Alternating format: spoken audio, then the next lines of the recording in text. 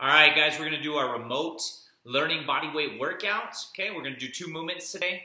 Um, and for the next few, we're gonna do two movements and then we'll uh, do something called an EMOM and I'll explain that here in a little bit. Okay, um, so first movement that we're going to do is a um, air squat. Okay, air squat, just make sure that your chest is nice and straight, facing the wall, belly button facing the wall. You're gonna come down, right?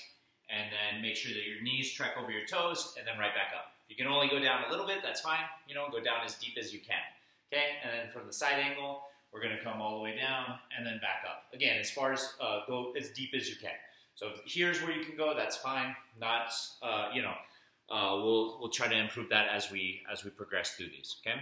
The next movement is a push-up.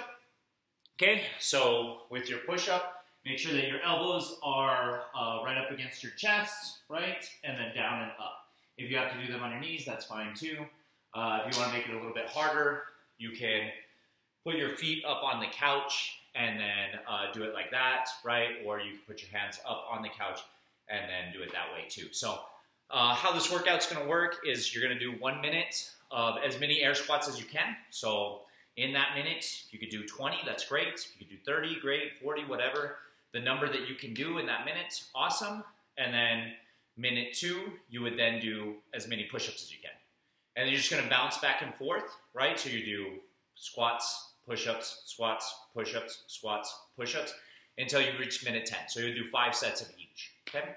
Uh, hope you guys like that. Um, let me know in the comments. Uh, appreciate you guys and have a good one. Peace.